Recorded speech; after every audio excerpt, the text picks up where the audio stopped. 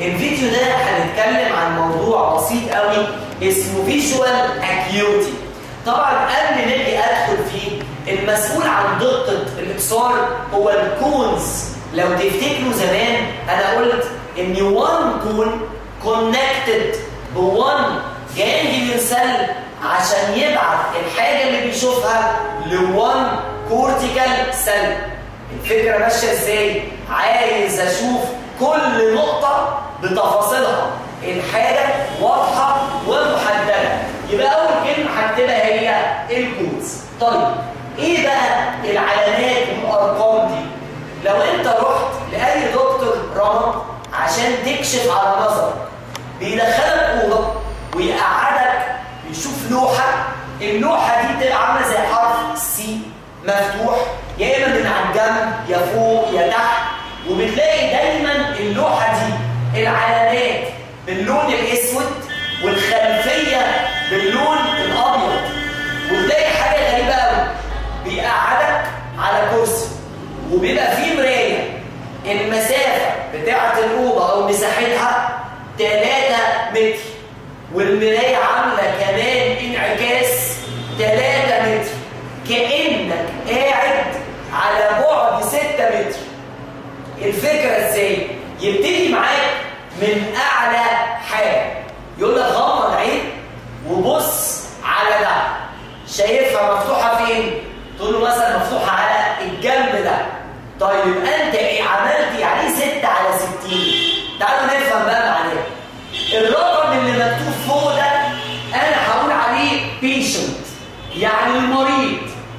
بيشوف العلامه على بعد 6 متر. اللي الطبيعي اللي هو الرقم اللي تحت بيشوفه على بعد 60 متر.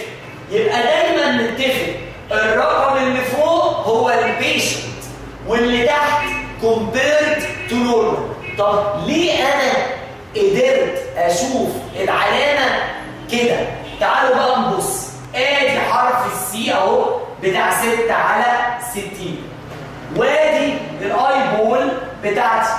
اللي حصل كالاتي واعملها بقى بلون منقط عشان تبقى الدنيا سهلة.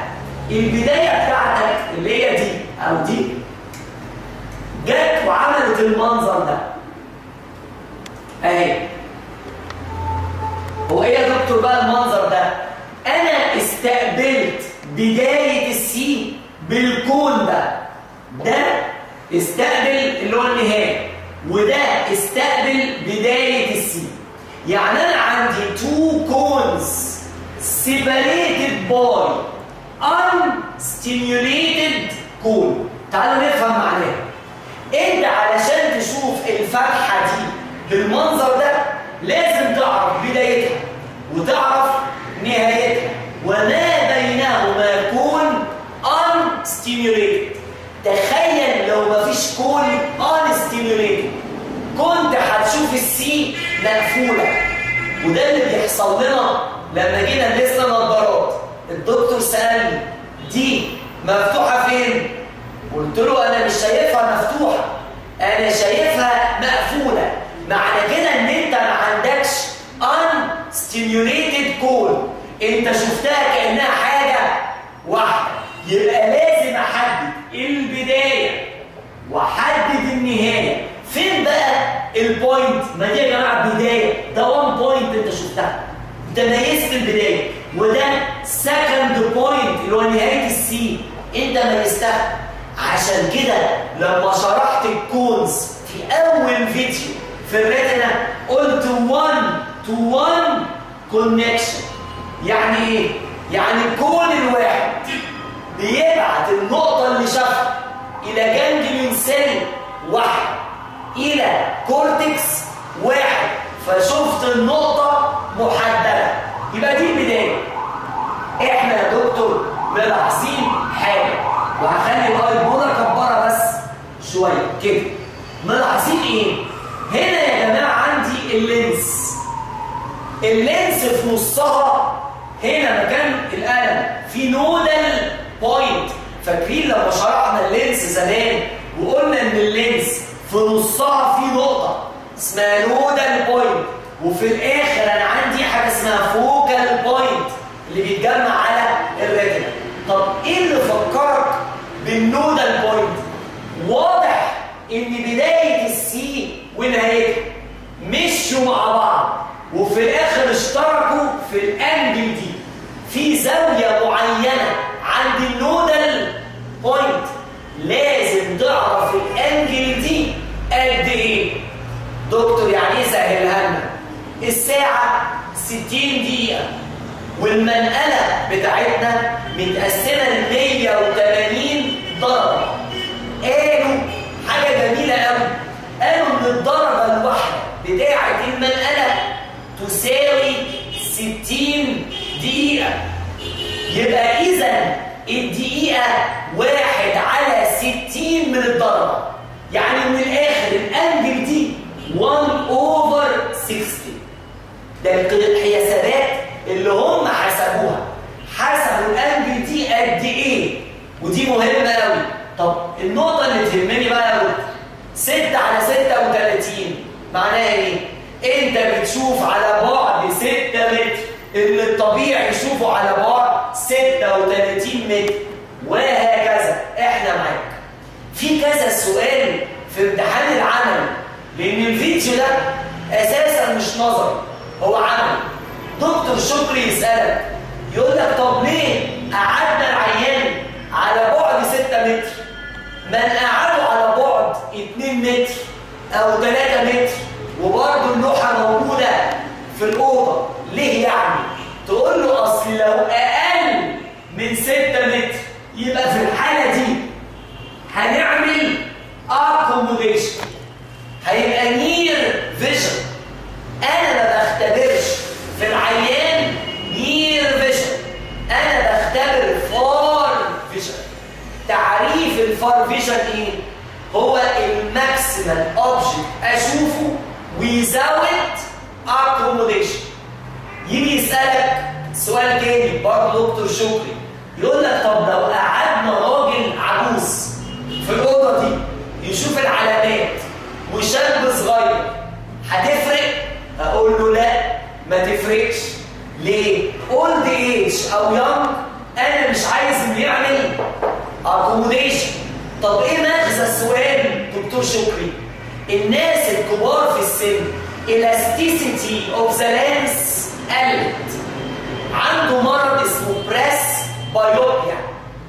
فعنده مشكلة في الرؤية القريبة.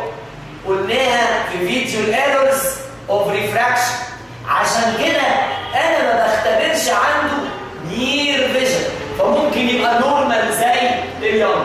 طيب عرفنا إنه cones وعرفنا two cones separated by unstimulated. وعرفنا ال angle دي واحد على 60 وعرفنا ليه لازم تبقى الأوضة أو المسافة 6 متر بينك وبين اللوحة. كل ده عرفناه وعرفنا الأرقام دي معناها إيه؟ آخر حاجة لازم تعرفها. Factors affecting visual acuity. إيه العوامل اللي هتفرق؟ أول حاجة الإضاءة ال illumination يا ترى اللوحة دي منورة كويس ولا لا تبقى انت إنسان سليم جدا.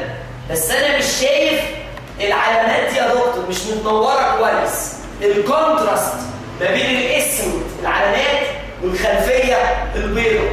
طب ال factor التاني إيه؟ errors of refraction تفرق؟ آه طبعا تفرق. لو أنت myopia أو hypermetropia وقلنا الفرق ما بينهم في فيديو قبل كده. لو أنت ضغط العين عالي جدا. aqueous humor عندك ما بيتصرفش يبقى برضه تفرق معايا. وهناك النقطة الرابعة بقى. retinitis pigmentosa وده عيب خلقي. إنت اتخلقت. عندك مشكلة في ال pigment بتاعة ال retina في جزء من ال field عندك مش متشاف كويس. فسميها retinitis pigmentosa ودي تعمل لي مرض اسمه scoto scotoma؟ فاكرين لما قلنا لكم في ال section إن في physiological blind spot كنا بنجيب دايرة وجنبها علامة cross وأقول لك ركز بعينك على الدايرة. وأنا هقرب اقرب